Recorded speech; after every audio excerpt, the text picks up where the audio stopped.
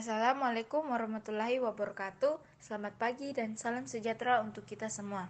Perkenalkan, kami dari kelompok 4 kelas 10 IPA 5 akan mempresentasikan hasil analisis pertunjukan musik tradisional yang videonya kami ambil dari YouTube. Adapun nama kelompok kami, saya sendiri Lydia Verlin Octavia Lagandesa sebagai ketua nomor absen 17, Nafisa Aulia nomor absen 22, Sheryl Rantelili nomor absen 30, Muhammad Noval Al-Kair nomor absen 20, Resal Pabiara nomor absen 27, dan Febriansa Resa nomor absen 10. Jadi judul video tersebut Jawa Tengah, Cublak-Cublak Suwong, Olivia Lingus Hang cover. Viewersnya 5,3 ribu kali dinonton, likersnya 229. Berikut link videonya. Alat musik yang kami analisis adalah kecapi, yang berasal dari daerah Jawa Barat.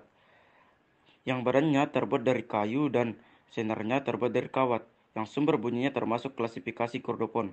Kordopon adalah alat musik yang sumber bunyinya berasal dari dawai, yaitu kawat atau senar. Perkenalkan, saya Sheryl Rantelili akan menjelaskan tentang warna suara. Warna suara terbagi menjadi dua, yaitu berdasarkan bentuk permainan dan berdasarkan bahan yang digunakan. Yang pertama berdasarkan bentuk permainan. Ketika pemain alat musik memetik senar bagian luar, maka bunyi yang dihasilkan semakin rendah.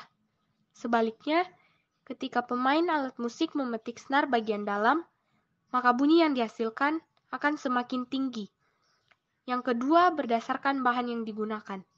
Karena alat musik kecapi menggunakan bahan dasar kawat, maka bunyi yang dihasilkan adalah tajam dan tipis.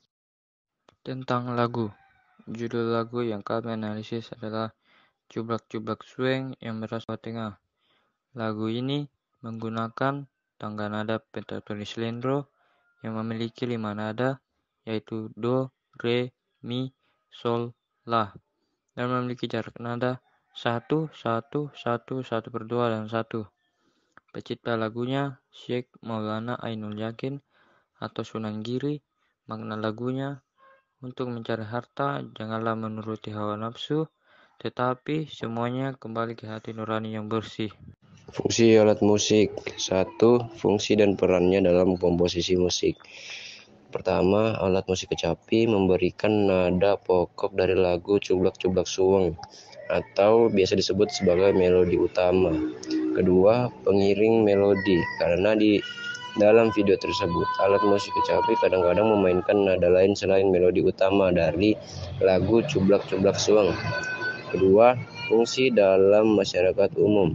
Satu, sarana hiburan. Karena kami sendiri kelompok 4 merasa terhibur dengan video permainan alat musik kecapi tersebut.